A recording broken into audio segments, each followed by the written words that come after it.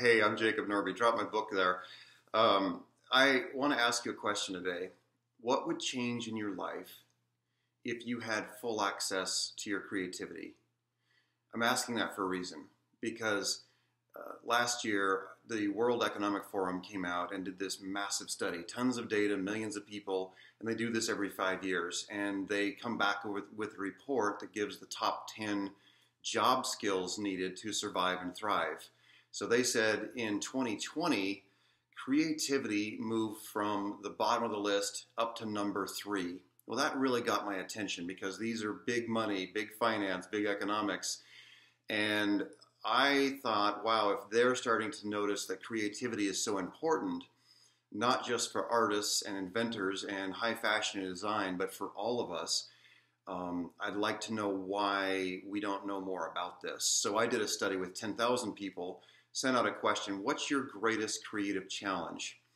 And tons of people responded. And 74.3% of people said, I doubt my talents and abilities. I don't think I'm good enough.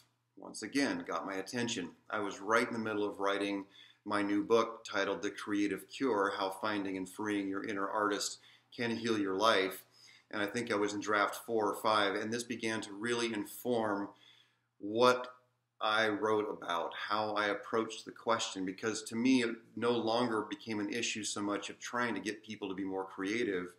The question was, how can we change our beliefs about creativity? How can we redefine it or expand the definition so that we ha- all have access to it? And so, as I just mentioned, I have this new book coming out, and it's time to start promoting it, time to start offering it. And generally speaking, I've been part of many, many book launches and releases. What happens is we ask people, hey, buy my book, pre order my book. Well, I'd like to do something a little bit different this time because I don't feel like this is a solitary effort where you buy my book or pre order it and then read it and hopefully it makes some change. I would love to invite you right now to be part of this exploration with me, to join me in what I've come to see as a really inner revolution it starts where all change has to start, and that's within. So I've developed a upcoming webinar and what I would love to do is offer this to you as part of the various things I'll be offering as I begin to release this book because I don't see this as a me thing. I see this as a we thing. Just like putting together a book. Sure, the writer has to sit down and use his or her creativity and write this thing but it requires the talents and creativity of an entire team of people to bring a book forward. I feel exactly the same way about the world we're living in right now. There are so many challenges, so many problems, but you know, here's what I know is that you are a highly creative person. Uh, as Julia Cameron, my friend, says, there is no such thing as an uncreative person. Everyone is creative. And what I've come to see as I've done this really important deep study is that your creative nature was there from the moment you were born and it will be there until you die. And it's never about healing your creative nature. It's a matter of healing the connection to it.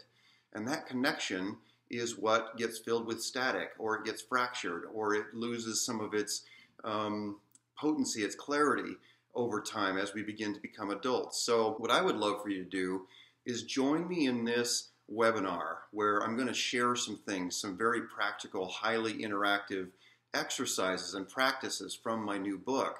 I'm going to give you really a, a, sneak peek of what's inside, but more importantly, I would love to invite you as that first step into this entire practice of healing the connection to your creative self, your inner creative self. Because what I've discovered in my own life, and this is battle tested um, stuff here, the practices and, and the uh, exercises, these are things I use in my life every day.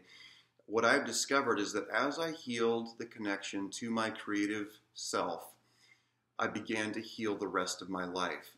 Areas that you wouldn't necessarily think of as creativity or as needing to be creative in. Turns out creativity is the essential energy of life. It's like the sap in a tree or the blood in your body. It's meant to touch every single area of your life. And it's meant to restore those areas that feel stuck or painful or lacking in art. So I would love it if you want to join me. All you have to do is pre order the book in any format. And rather than pay $49 to access this webinar, just put your name and email and your receipt, your online receipt number for pre ordering. Put that in below, and that'll automatically generate you then a free pass um, into this webinar. And what's going to happen after that is I'll offer some other ways to connect with me and other people who are involved in this question together. So if you would like to explore the question, what would change in my life if I had full access to my creativity, then I would love it if you'll join me and lots of other people in asking it together and begin to develop that question. All right, so I hope you'll join me, and uh, I'll talk to you soon.